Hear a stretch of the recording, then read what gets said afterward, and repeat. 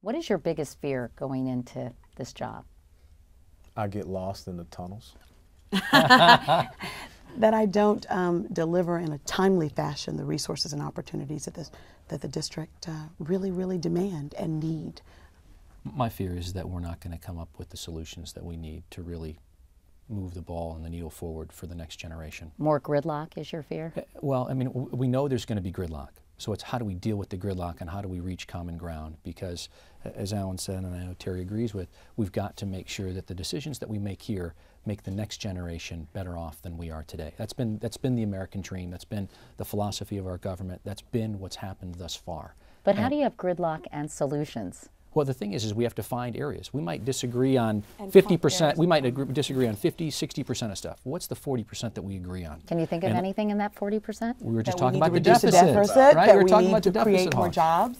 Yeah. Um, I mean, you know, I think that Improve our health care, our national security. Improve National our education. security is gonna oh be my critical. God, yeah. But how do you improve education and get $100 billion in spending cuts for a year? Well, I got to tell you, I think one of the things, you know, I spent a year as a high school teacher when I first retired. We've got to get education back down to the local level.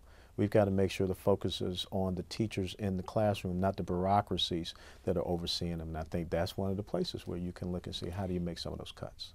Yeah. We, but we need to give the teachers the tools they need uh, in order to teach, which I think is critically important. So I think it's about setting priorities. It's about figuring out our priority list, um, and that will affect how we compromise, I think. Do you think in six months you'll be as optimistic as you are today? Well, I've been in, so. I've been in combat, so I'm always optimistic, and I think that America always finds a way when its back is up against the wall, and I think that this will be a launching point.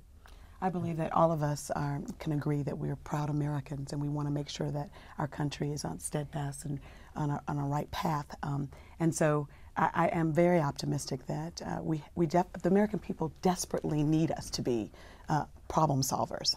And so if long as we can remember that and uh, work towards those ends, I think that we're, we're, we're, we can get there. I am optimistic. We live in the greatest nation on the face Absolutely. of the earth, and we are very resilient. And this is such an honor to be up here in the United States Congress to be able to try to affect some of this change.